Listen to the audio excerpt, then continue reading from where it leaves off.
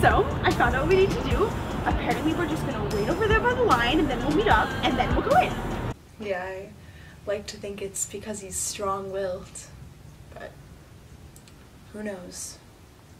He used to never stop talking. He usually only remembers bits and pieces, not just of what happened, but of before. Who I am, who he is.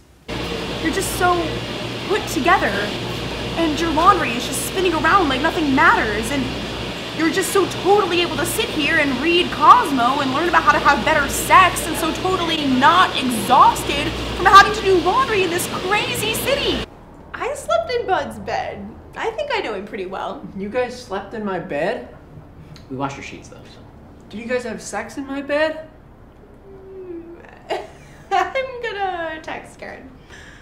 Oh no, you're not actually though. Yeah, yes I am. Don't worry about it. It's No, no, okay. What did he say?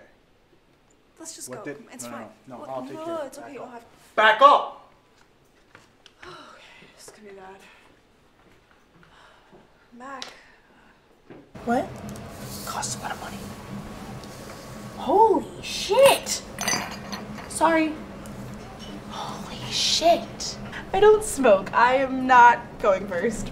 I don't smoke either. I will gladly go first. Uh, you are not leaving me to go second. You wanted to go second.